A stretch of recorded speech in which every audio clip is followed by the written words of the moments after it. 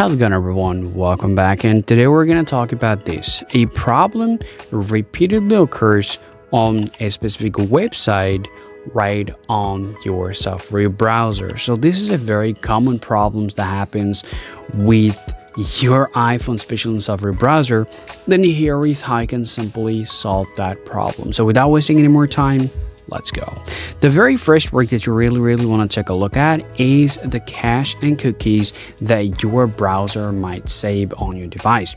So first head over to your settings on iPhone, then you got to scroll down here, select apps, find out your Safari browser, and once you just come over here, now you have to just find out this option called um, extension. First, if you are using any extension whatsoever with your Safari browser, the first work that you want to do, you make sure to just stop them for a few moments just to see if that works or not.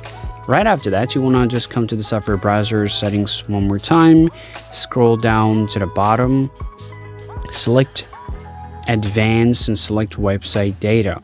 Now you can see there are few website data already been stored in my browser. So if you have the same thing, simply select to remove all website data, tap remove now, then get back here, scroll it up, and now tap clear history and the data, select all history and select, uh, make sure to enable close all tab, clear all the history here, get out of here.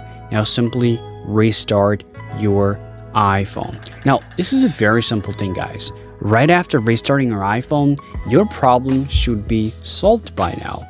But still, if you see, well, you might have the same problems that popping up on your browser, then next, you gotta head over to your settings, scroll down here, open up your screen time, you gotta open up to your content app privacy restriction make sure to disable that feature. Sometime if you're allowing, uh, you know, the web store or if you are putting some restrictions to certain website, it might give you this, you know, same types of error.